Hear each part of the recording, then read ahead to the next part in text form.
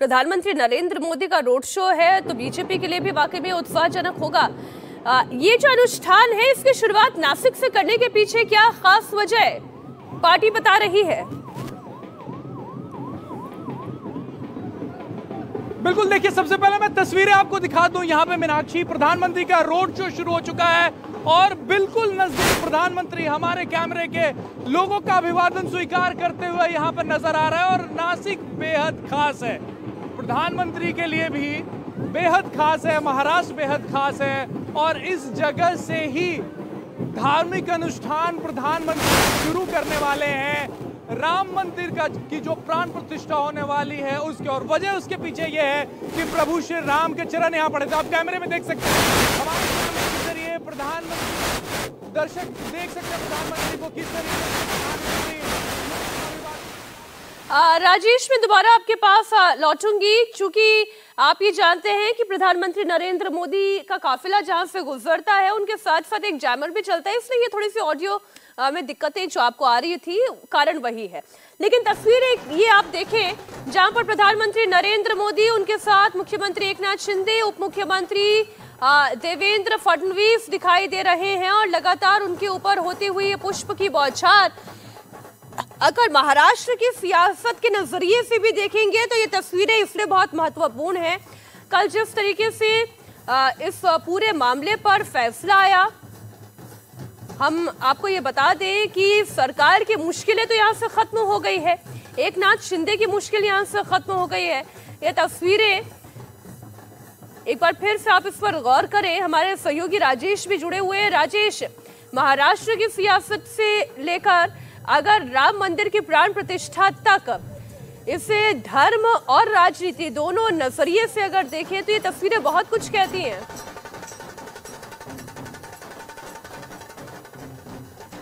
तस्वीरें लगातार आप देख रहे हैं। नासिक से प्रधानमंत्री नरेंद्र मोदी के रोड शो की ये लाइव तस्वीरें हैं। एक्सक्लूसिव तस्वीरें इस वक्त आप देख रहे हैं। अजीत पवार भी इस वक्त उसी गाड़ी पर नज़र आ रहे हैं, जिस पर प्रधानमंत्री नरेंद्र मोदी ये रोड शो कर रहे हैं। तकरीबन डेढ़ किलोमीटर का ये रोड शो रहेगा। और फिर नासिक के कालाराम मंदिर में पूजा की तस्वीरें भी आप देखने वाले हैं। पंचवटी जहाँ से अनुष्ठान की शुरुआत होने वाली है। भगवान राम अपने वनवास के दौरान जिन जिन जगहों पर पहुँचे जहाँ जहाँ उनके चरण कमल पड़े वहाँ वहाँ प्रधानमंत्री नरेंद्र मोदी पहुँचेंगे। ग्यारह दिन का अनुष्ठान है इसकी शुरुआत आज यहाँ से हो रही है। हमारे सहयोगी राजेश जुड़े हुए हैं राजेश। हमारी शुभेच्छा है उनके साथ में। हमारी शुभेच्छा है साथ में के मंदिर अपने बराबर से अरे जो उसको अपने उसका हो जाए। जो भी काम कर रहे अच्छा कर रहे अच्छा कर रहे काम भी बहुत अच्छा हो रहा है काम सब तरीके से जो भी काम कर क्या क्या अच्छा काम कर रहे हैं अभी रोड बनाना है। लोगों को डेवलपमेंट है विदेशों में जहाँ जाते हैं वहाँ पे उनका नाम होता है। राम मंदिर बन रहा है इसलिए सबको खुशी है देश में। सबको खुशी सबको खुशी राम मंदिर बन रहा है बहुत खुश है हम लोग। जैसे नया निर्माण हो रहा है और नासिक के अंदर सर पधार है बहुत खुशी हुई हमको भी। क्या कह रहे हैं? सबका साथ सबका विकास जो लेके चल रहे हैं सब सब कर रहे हैं। वो कहते हैं कि प्रधानमंत्री पे आरोप लगाते हैं लोग कि नहीं वो सबके लिए एक नहीं रहते हैं मुसलमानों के लिए अलग है हिंदू के लिए ऐसा है आरोप लगाना अलग है और उनका जो हम देख रहे हैं कि हिंदुओं के साथ साथ जो मुसलमान हैं वो भी अगर अपनी शुभेच्छाएँ दे रहे हैं प्रधानमंत्री नरेंद्र मोदी को शुभकामनाएँ दे रहे हैं तो ये तस्वीरें वाकई में गौर करने वाली है। ऐसे मौके पर जब राम मंदिर की भव्य प्राण प्रतिष्ठा हो रही है, अभी भी कई आप पॉलिटिकल कमेंट्स ऐसे सुनेंगे जिसमें राम मंदिर को एक सियासी टूल की तरह इस्तेमाल करने का आरोप लगाया जाता है। उसके बीच में अगर मुसलमान ये कहे कि हमारी शुभेच्छा प्रधानमंत्री के साथ है, वाकई में ये गौर करने वाली चीज़ें हैं। अब हम आपको बता दें, नासिक से ही प्रधानमंत्री नरेंद्र मोदी क्यों अपने इस अनुष्ठान की शुरुआत कर रहे हैं?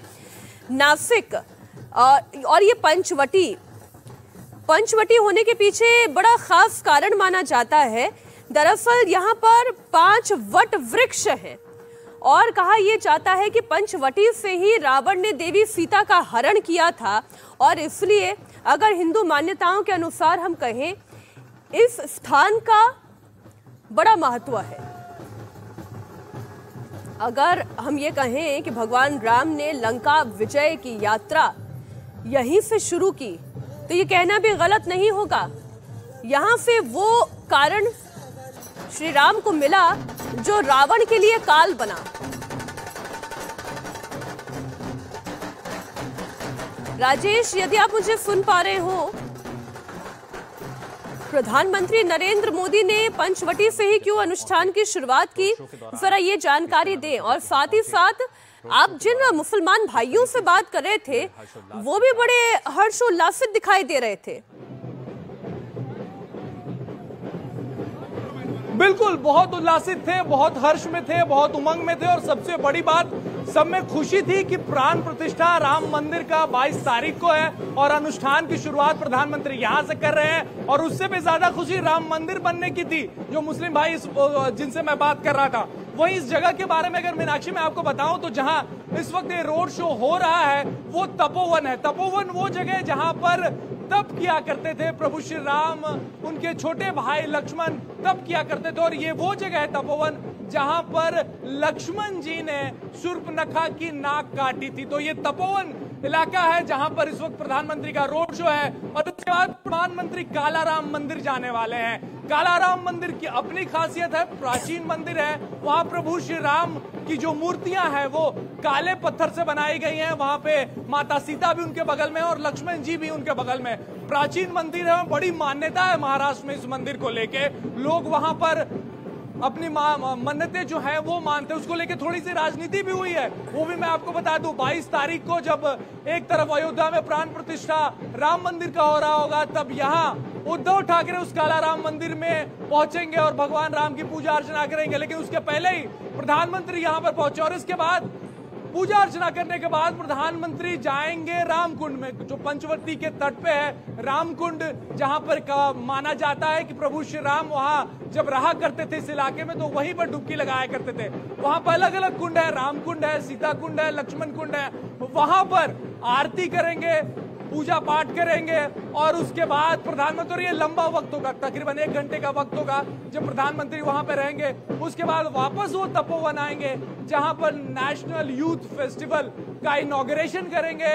यूथ जो प्रधानमंत्री, जिसकी चर्चा अक्सर अपने भाषणों में करते रहते हैं और बताते रहते हैं कि भारत अगर विश्व में महाशक्ति बन रहा है तो यूथ की वजह से बन रहा है, युवाओं की वजह से बन रहा है, और उसी यूथ फेस्टिवल का आज यहाँ पे इनोग्रेशन करेंगे। सत्ताईसवां यूथ फेस्टिवल है और आज स्वामी विवेकानंद का जन्मदिन भी है, एक जन्मदिन है उसके उपलक्ष्य में हर साल हम यूथ फेस्टिवल मनाते हैं और इस साल ये नासिक में ये यूथ फेस्टिवल किया जा रहा है। लेकिन सबसे सबसे बड़ी बात यह है कि प्रधानमंत्री ने सवेरे ही ट्वीट करके ये बताया कि ग्यारह दिन बचे हैं प्राण प्रतिष्ठा में और उसकी शुरुआत, अनुष्ठान की शुरुआत आज यहाँ से करने वाले हैं। नासिक, जो बेहद पावन है पूरे देशवासियों के लिए राम भक्तों के लिए क्योंकि वनवास में दस साल गुजारने के बाद प्रभु श्री राम यहीं आए थे और तकरीबन ढाई से तीन साल तक नासिक में रहे पंचवटी के इलाके में रहे यहीं पे ठीक कह रहे हैं और इसके नासिक नाम होने के पीछे भी एक एक कहानी है। राजेश आप ये कहानी जानते होंगे दर्शकों की जानकारी के लिए बता दें जो अभी हमारे संवाददाता राजेश कह रहे थे कि दरअसल यहीं पर लक्ष्मण ने शुभनखा की नाक काटी थी।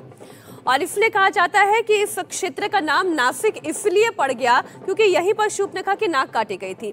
और जैसे कि काले राम भगवान जी का मंदिर है काला राम मंदिर है, ठीक उसी तरह सुंदर नारायण का एक मंदिर है और इसके बारे में भी एक विशेषता है और ये बड़ा अद्भुत संयोग भी है। आप देखिए, इस मंदिर की विशेषता ये है राजेश की यहाँ पर 20 और 21 तारीख को ये एक ऐसा समय होता है जब भगवान राम के चरणों पर सूर्य की ऊर्जा पहुँचती है उनकी रोशनी पहुँचती है। और अब जो राम मंदिर में प्राण प्रतिष्ठा होने जा रही है, यानी अयोध्या में श्री राम जन्मभूमि पर प्रभु श्री राम की जो प्राण प्रतिष्ठा होगी, उनकी ललाट पर सूर्य का किरण का पड़ना, ये अपने आप में भी एक अद्भुत, अगर हम ये कहें कि ये संयोग है कि नासिक के मंदिर में भी सूर्य की किरण भगवान राम के चरणों पर पड़ना और अयोध्या में राम लला के मस्तक पर सूर्य का पड़ना, ये एक आर्किटेक्चरली भी आप कहें कि ये गजब का संयोग है। राजेश, आप हमारे साथ जुड़े हुए हैं। अगर हम राजनीति के दृष्टि से भी इस यात्रा को देखें, जिस रथ पर वो सवार हैं, वो रथ एक तरीके से विजय रथ दिखाई दे रहा है, क्योंकि इसमें मुख्यमंत्री एकनाथ शिंदे हैं उप मुख्यमंत्री देवेंद्र फडणवीस है अजीत पवार दिखाई दे रहे हैं।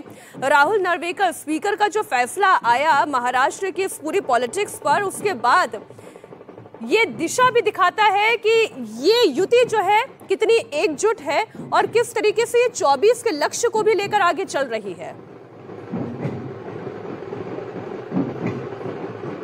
बिल्कुल, और ये अब जो प्रधानमंत्री रोड शो कर रहे थे तो उनके पीछे महाराष्ट्र के मुख्यमंत्री और दोनों उप मुख्यमंत्री खड़े थे। तो जो बातें कई दिनों से विपक्षियों के द्वारा यहाँ कही जा रही थी कि सब कुछ ठीक नहीं चल रहा खास करके अजीत पवार और एक नाथ शिंदे के बीच में, उसे भी खत्म करने की कोशिश। प्रधानमंत्री ने अपने रोड शो के ज़रिए की है जब तीनों प्रमुख नेता इस एनडीए अलायंस के इस महायुति के तीनों प्रमुख नेता यहाँ पर साथ में नज़र आए और जब राहुल नार्वेकर का फैसला आया तो सिर्फ़ देवेंद्र फडणवीस ने नहीं अजीत पवार ने भी उसका स्वागत किया। एक नाथ शिंदे के पक्ष में तो यह फैसला था ही लेकिन अजीत पवार देवेंद्र फडणवीस सबने उसका स्वागत किया और अब एक नाथ शिंदे जो है वो पूरी मजबूती के साथ मुख्यमंत्री बने रह सकते हैं। ये आ, साफ़ नज़र आ रहा लेकिन जब तक ये फैसला नहीं आया था, उसके पहले भी अगर फडणवीस की बातें आप सुने, भारतीय जनता पार्टी की बातें सुने तो पूरी तरीके से आश्वस्त थे कि अगर फैसला खिलाफ भी आता है, तब भी वो एक नाथ शिंदे को ही मुख्यमंत्री बनाए रखेंगे। और ये तस्वीरें बहुत कुछ बयां कर रही हैं। आज नासिक के इस पावन धरती पर जब प्रधानमंत्री पहुँचे हैं तो महाराष्ट्र की राजनीति भी साफ़ दिख रही है कि यहाँ पर किस करवट बैठ रही है। यहाँ पे जो लोग इकट्ठा हैं, उनसे हम बात करने की कोशिश करते हैं। बहुत देर तक इंतज़ार कर रहे थे आप लोग प्रधानमंत्री का। हम तो जगह मिलने के लिए बहुत टाइम से इंतज़ार कर रहे थे बट नरेंद्र मोदी जी बिल्कुल टाइम पे आए और हमारा टाइम कहीं भी वेस्ट नहीं हुआ कुछ भी तकलीफ़ नहीं हुई। सब कुछ व्यवस्था देख के हम और जो लोगों का उत्साह देख के समय से आते हैं बहुत समय से आगे समय से आगे और ये पूरा तैयारी और ये उत्साह। के झंडे लेके भी आप आए यस यस जय श्री राम। आज हमारे 500 साल के बाद पाँच सौ साल के बाद नरेंद्र जी मोदी जी ने हमारा राम मंदिर हमारे राम जी को हमारे घर पे लाए राम जी के घर पे लाए। जय श्री राम। अच्छी सुन रही है ये। खुशी जो है उत्तर प्रदेश में नहीं है ये पूरे देश में खुशी है। पूरे देश में जो राम भक्त हैं वो नरेंद्र मोदी का आभार मान रहे हैं कि प्रभु श्री राम को टाट से ठाट में पहुँचाया है। क्या कहेंगे प्रभु श्री रामचंद्र जी का मंदिर बन गया है प्राण प्रतिष्ठा होने वाला है। प्रधानमंत्री आज का कार्यक्रम भी हमें मोदी जी आए इसके बहुत आनंद हुआ है। बहुत खुशी हुई है। तो खुशी हुई? मोदी जी के लिए। मोदी जी आए हमारे। सुबह से आए हुए हैं बहुत सुबह से मोदी जी के देखने के लिए। पहली बार मोदी जी को देखा बहुत खुशी हुई हमको।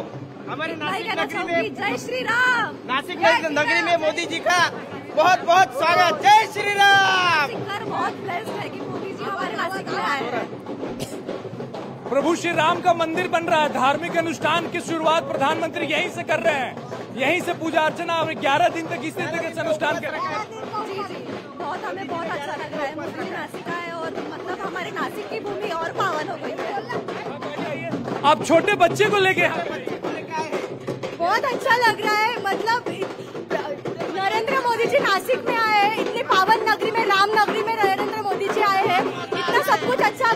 बहुत सारे नासिक की कलाकृति पूरे देश की कलाकृति वहाँ से हनुमान जी आ रहे हैं। बहुत सुखी बहुत अच्छा लग रहा है। पहली बार मोदी जी को देखा एक बार देखा था मैंने एक बार देखा था जब लास्ट टाइम नासिक में आए थे। अभी सेकंड टाइम आए हैं और मुझे बहुत अच्छा लग रहा है उनको देख अच्छा बहुत छोटा है। छह महीने का छह महीने का। इनका मेरे भाई का बेटा है ये। हाँ। महीने का बच्चे। हाँ मोदी जी का क्रेज मोदी जी का क्रेज मोदी जी का क्रेज आप देख रही हैं मीनाक्षी? किस तरीके से लोग यहाँ पे पहुँचे हैं? छह महीने के बच्चे को लेकर भी पहुँचे हैं क्योंकि मोदी जी को वो देखना चाहते हैं। क्या नाम सचिन यादव कब से इंतज़ार में मैं तो सुबह से आया हूँ। हम रहने वाले नासिक के ही।